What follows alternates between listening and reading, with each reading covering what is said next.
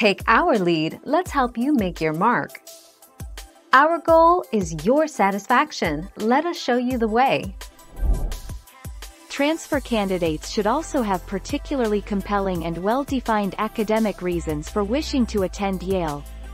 Transfer candidates should explain in their application essays how studying at Yale would give them an educational opportunity particular to their interests that could be experienced nowhere else.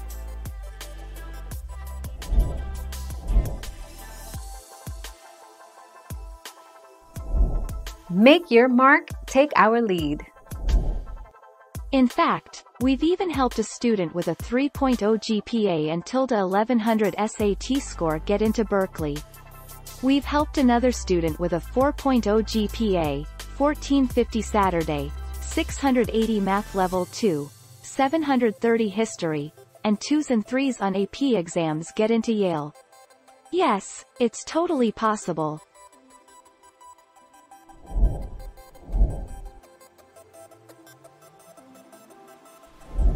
Make your mark, take our lead. 4.13 Yale University accepts 1.76% transfer applicants, which is competitive.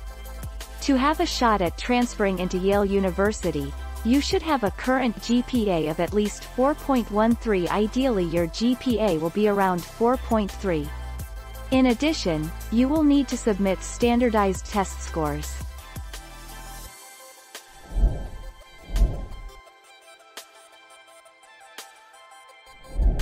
Let's help you make your mark.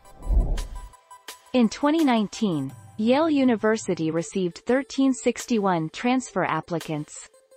The school accepted 24 students. Therefore, the transfer acceptance rate for Yale University is 1.76%. This indicates how hard it is to transfer into Yale University.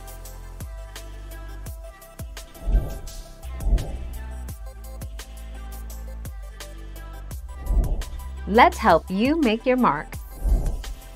In 2019, Tufts University received 1154 transfer applicants. The school accepted 167 students. Therefore, the transfer acceptance rate for Tufts University is 14.47%. This indicates how hard it is to transfer into Tufts University. Thank you for watching. Please subscribe and hit the bell notification.